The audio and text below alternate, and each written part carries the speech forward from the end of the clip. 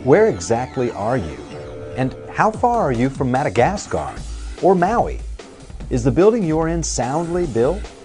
And how will you get home today? If you think about it, all those questions take a little geometry to figure out. Welcome to the second semester of geometry. We're going to explore angles, circles, proportions, and volume, but they'll no longer be two-dimensional equations. They'll come to life out in the real world as we work through six modules. Module 7, Similarity, a new model. Car design requires more than an eye for flashy paint colors and rims. You'll need to use ratios and proportions to make sure the car you draw on paper is the car you drive off the lot.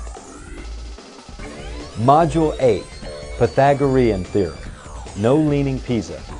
When it comes to construction, right angles, parallel walls, and level floors all contribute to sound structures. As a carpenter, you know all too well that angles matter.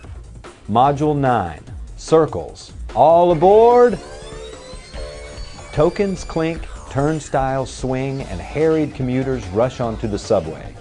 Circles and their parts play a role in how smoothly the trip home will go today, and in how well you design your underground railway. Module 10 Linear Equations. Follow that cab! $2 per trip, 50 cents each quarter mile.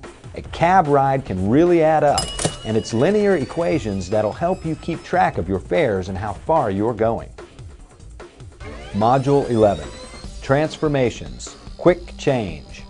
Almost nothing is impossible in video games. If you can imagine it, the designers can create it. And you, as the designer, have a transformational game as your next big challenge. And Module 12, Solids. Liquid assets.